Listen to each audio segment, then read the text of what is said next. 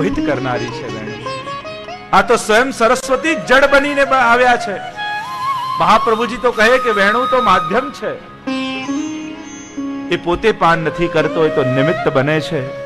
અને વાંસ અને નદીઓને પહોંચાડે છે. કારણ વાંસ તો એના પિતા છે અને નદી એની માં છે. વાંસનું એ બાળક છે. અને નદીઓએ જલ સીચી સીચી એ વાંસને મોટું કર્યું, એ માં છે. એટલે જ પૂછ્યું ને કે જલ ન ડુબાવે કાષ્ટ કો, યહ કોણ પ્રેમ કી રીત?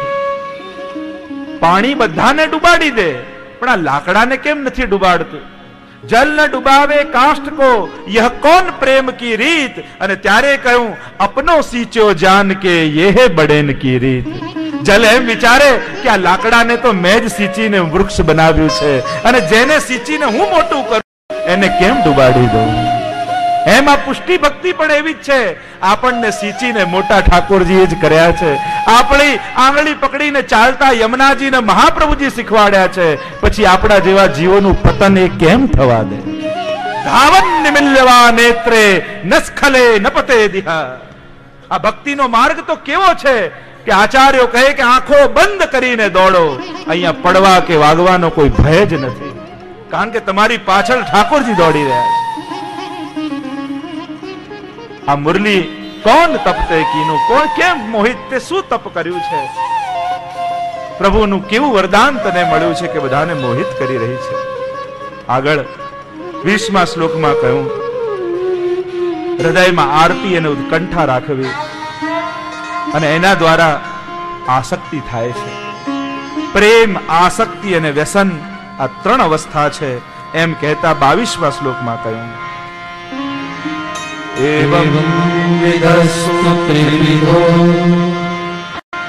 भावो निस्साधनो અતસ્તુ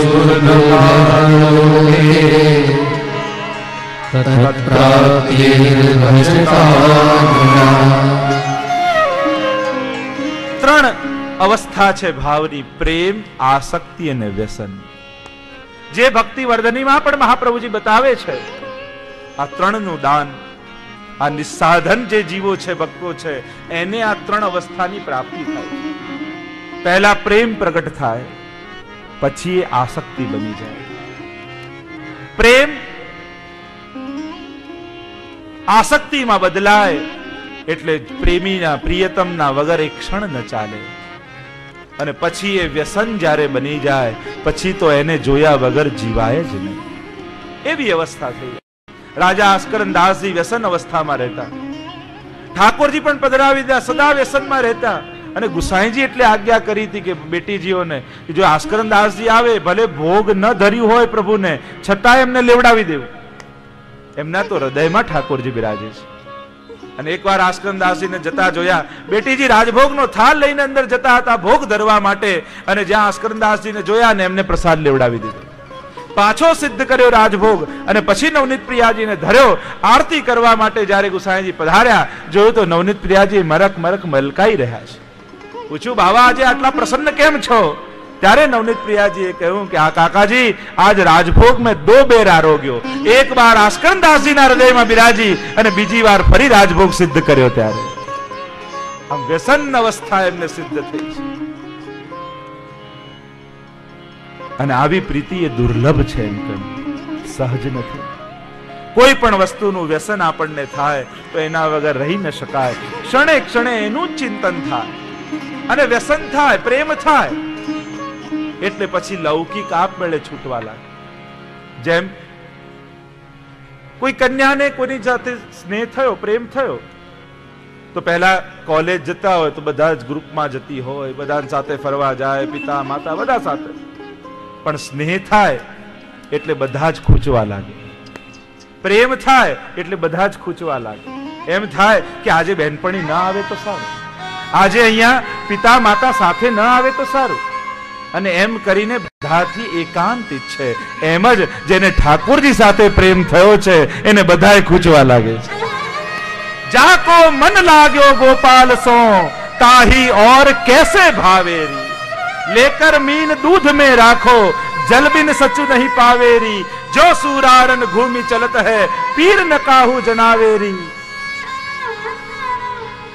जो गूंगो गुड़ खाए रहत है સ્વાદ ન કહું જનાવેરી બતાવેરી પ્રેમ તો કેવો છે મૂકા સ્વાદ ન બત मैं गिरिधर के घर जाऊं मीराजी मैं कहती है और कहीं नहीं जाना और कहीं नहीं ब्याना मेरे तो गिरधर गोपाल दूसरो न कोई गिरिधर के घर जाऊं मैं गिरिधर के घर जाऊं गिरिधर मारो साचो प्रीतम गिरिधर मारो साचो प्रीतम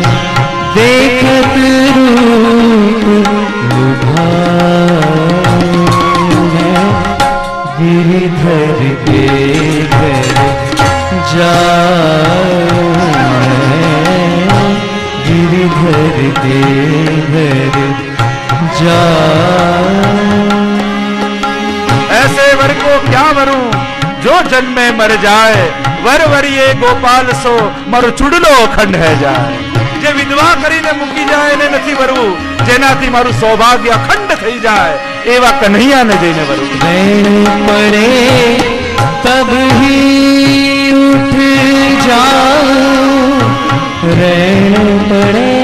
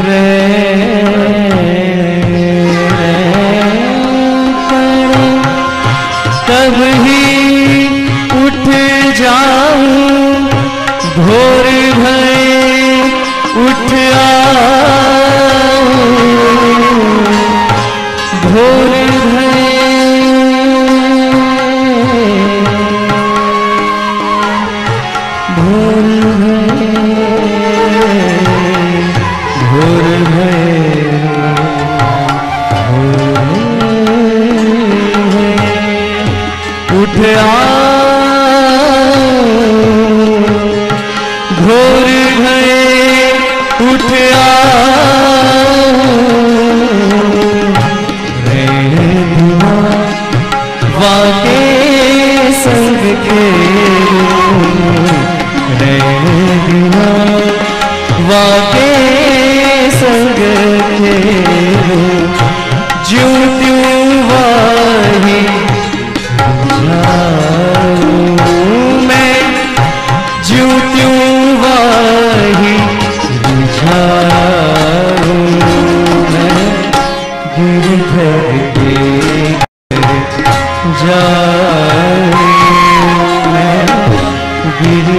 गिरधर के घर जाऊं जो